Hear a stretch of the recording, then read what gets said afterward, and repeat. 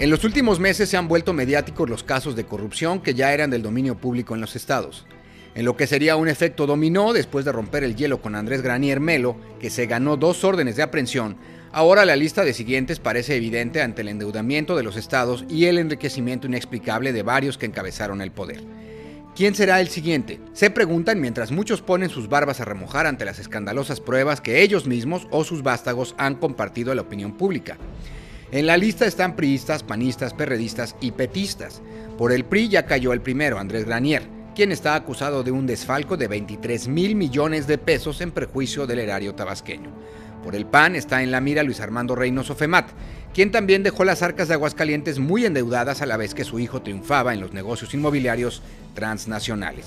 Además, podrían seguir el exgobernador de Jalisco, Emilio González Márquez, y Marco Antonio Adame, de Morelos sin olvidar a Miguel Ángel Yunes, exalcalde de Boca del Río en el estado veracruzano y candidato perdedor a la actual gubernatura.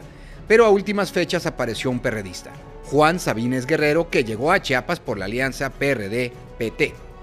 Ante las corrupciones que saltan a la vista, los reflectores voltean ahora a la administración de Juan Sabines, exgobernador de Chiapas de 2006 a 2012 Añadido a lo que se ventilaba ya en medio, se agrega una denuncia presentada por Horacio Culebro Borrayas el 2 de abril de 2013 en contra de Sabines y más de 50 de sus colaboradores, quienes dejaron en la entidad una deuda de más de 40 mil millones de pesos.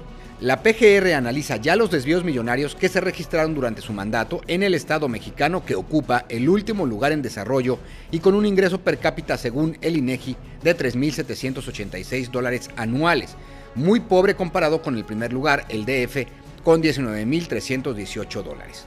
Pero los recursos extraordinarios para revertir ese rezago fueron administrados por Sabines como verdadero alquimista y no a favor de los chiapanecos. En seis años transformó la deuda de su antecesor de 885 millones de pesos a los 40.500 millones mencionados. Sabines, descendiente de una conocida dinastía de políticos e intelectuales chiapanecos, tuvo un resultado negativo con la Auditoría Superior de la Federación que determinó que había gastado 1.400 millones de pesos en cuatro entidades rurales afectadas por el huracán Stan.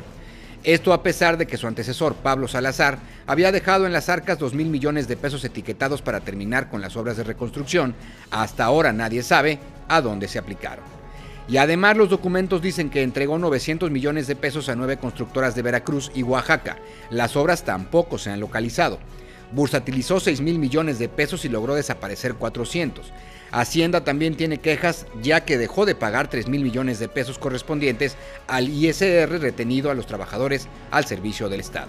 Y también en su periodo dispuso de 500 millones de pesos del servicio de agua potable para Tuxtla Gutiérrez que supuestamente destinará a su campaña, entre otros posibles delitos que por su naturaleza podrían ser equiparables a los de Granier, que conjugarán defraudación fiscal y peculado.